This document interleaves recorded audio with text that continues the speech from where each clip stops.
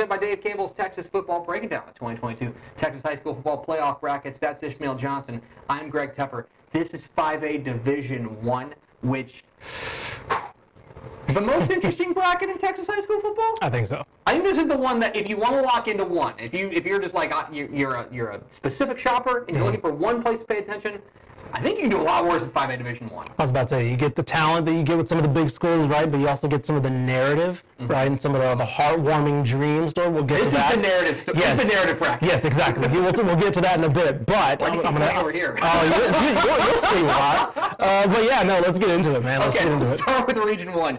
Region One, I think the everyone's going to pay attention to Aledo, and understandably so. District champions moving up to Division uh, One, but looking the part, winning their district uh, out there in District Three.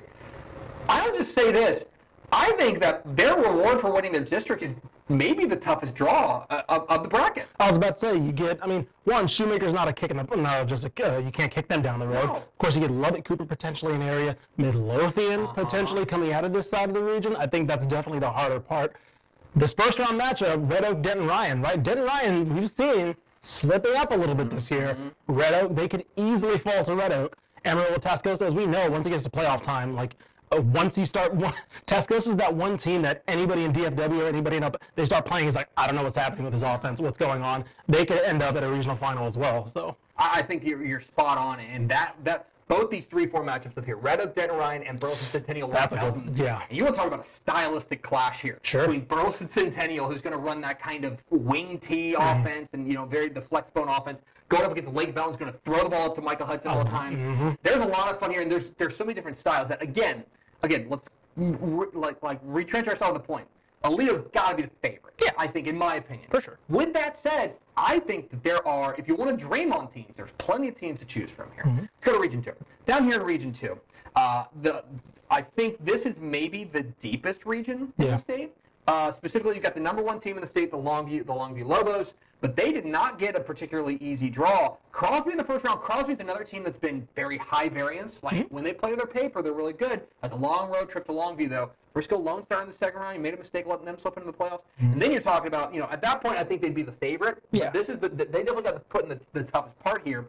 Um, and then up here, this is the battle royale, man. This Yeah, is, yeah. These are teams that maybe aren't those brand names that Longview may be, but I'll tell you that, that between Timber, uh, between Timberview, between Lancaster, between a team like Frisco Reedy, which is 10 and 0, there's a lot to like about Region 2. I saw that Lancaster game at Longview earlier this year. That's probably one of my game, might be my game of the year if I'm being honest. That was, I would love to see that game again in the regional final because I don't know if Lancaster will lose twice. Yeah. That game was really close. They did a great job on Jalen Hale. They have the corners to cover and make you beat the. Uh, they're going to make Longview beat them with Taylor Tatum again. And so if that ends up being the regional final matchup, I probably would pencil Longview as the favorite, but it's hard to beat a team twice. It's hard to beat a team as talented as Lancaster twice.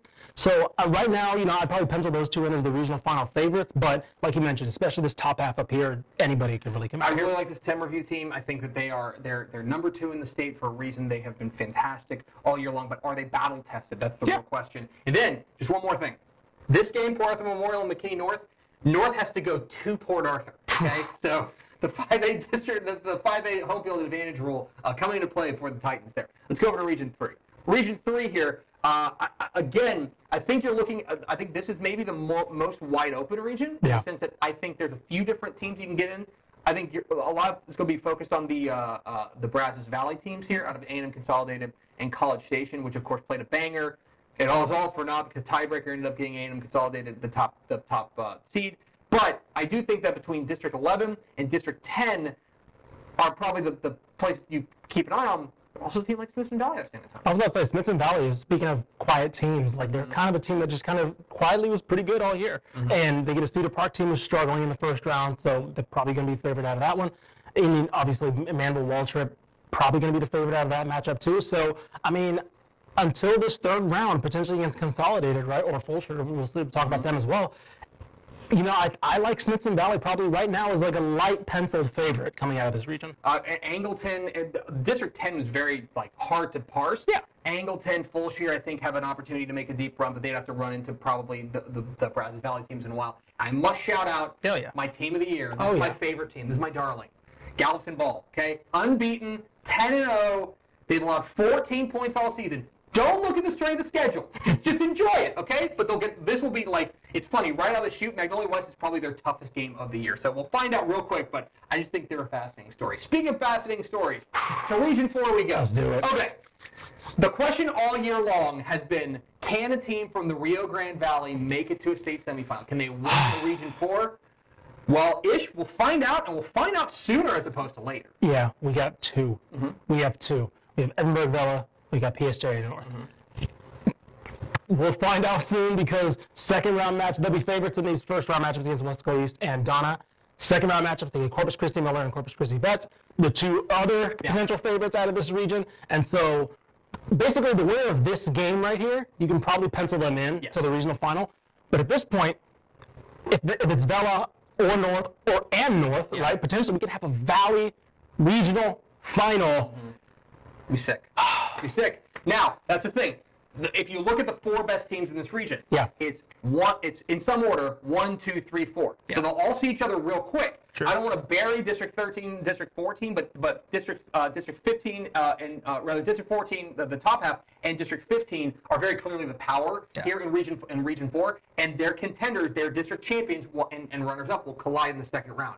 That's when we'll really learn what the shape of this really is. So that's kind of all eyes on that. Uh, a team from the Rio Grande Valley hasn't made a, a state semifinal in a long time, so it would be a huge, huge deal. So we take a look at 5A Division One as a whole. Uh, again, Aledo, but not a walkover up here in Region One. Region Two, Longview, but not a walkover. And Region Three, I mean, like take your pick. I was about to say, About yeah. Three, four different teams you can pick here, and then it's Corpus Christi versus the Valley in Region Four. Yeah, I think you, like I mentioned at the start, you have the narrative, you have the brand names, right?